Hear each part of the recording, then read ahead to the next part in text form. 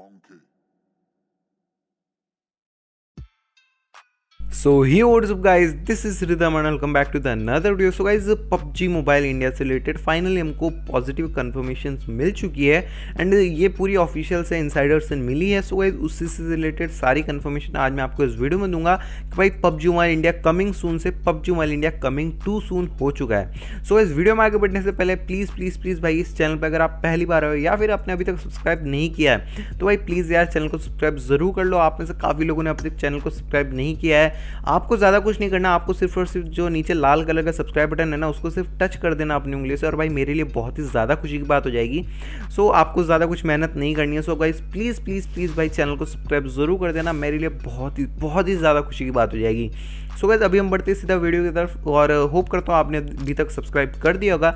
जिस चीज़ बंदे ने अभी तक सब्सक्राइब कर दिया, उसको दिल से बहुत बहुत शुक्रिया।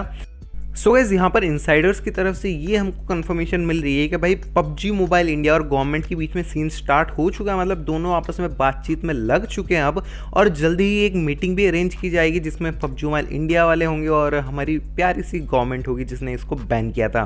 तो दोनों के बीच में एक मीटिंग होगी और उसके बाद ही पबजी मोबाइल को अप्रूवल मिलेगा।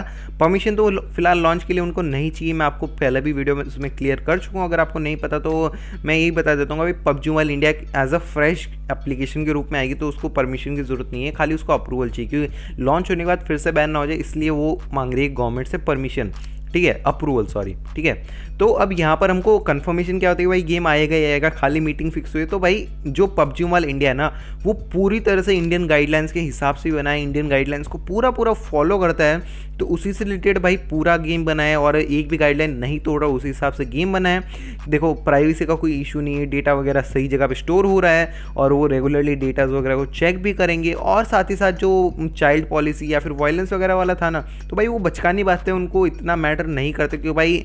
ऐसा तो फिर कोई गेम ही नहीं बचेगा। मिनी मिलिशिया भी नहीं बचेगा फिर तो यार। मतलब समझ रहे हो ना?